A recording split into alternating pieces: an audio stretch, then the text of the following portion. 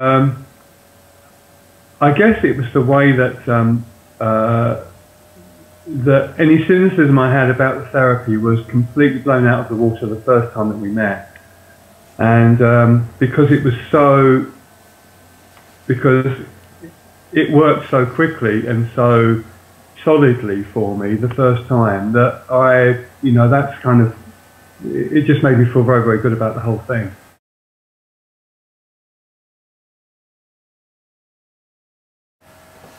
Um, I looked you up on the internet, I think, and um, and then we met in Manchester at your office. Mm-hmm. And I came out of there feeling like I'd done absolutely the right thing, which oh, was brilliant. fantastic. And since then, you've had Skype sessions. And how do you find the Skype sessions?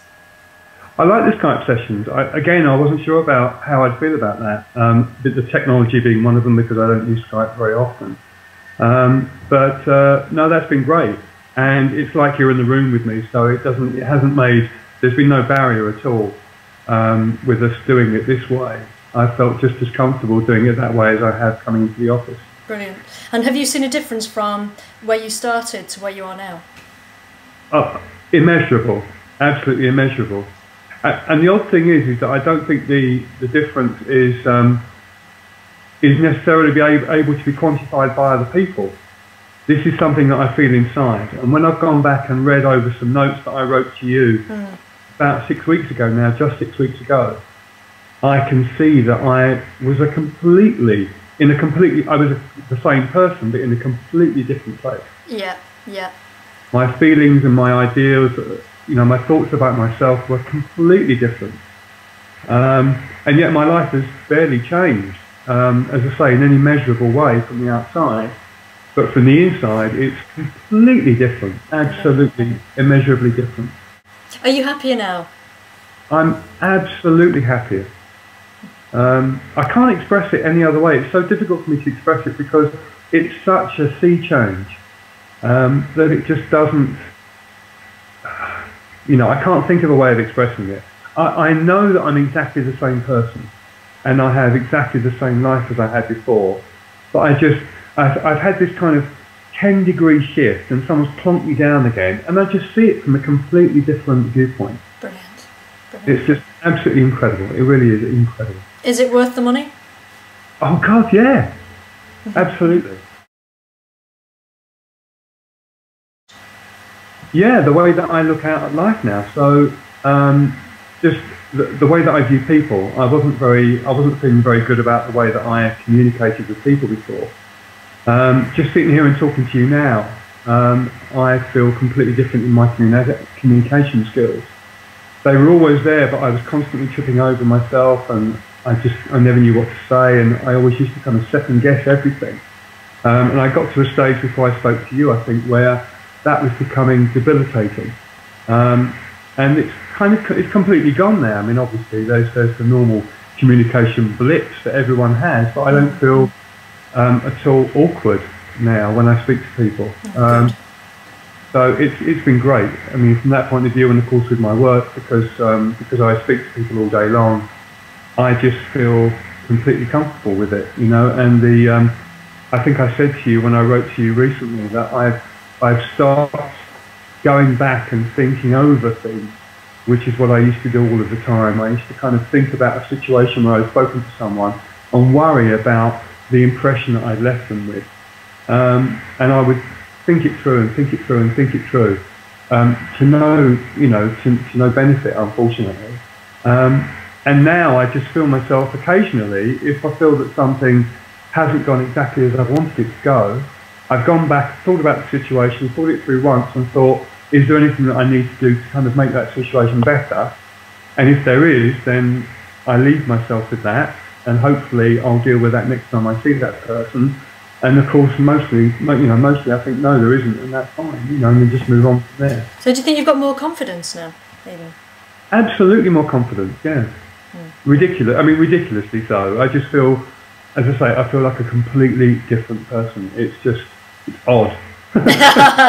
Brilliant. That's awesome. In a very good way, obviously, but it's just odd. Yeah, it really is. And the way I feel about life completely is just yeah, without going into all of the the troubles and traumas that I had, I, you know, those things are still there, and the memories of all those things are still there. I still know they're there.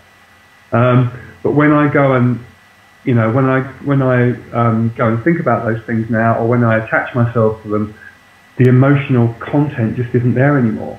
Um, so I can intellectualize about them, I can think about them if I if I have to, or if you know, normally what happens is other people talk about them when I speak to family, etc.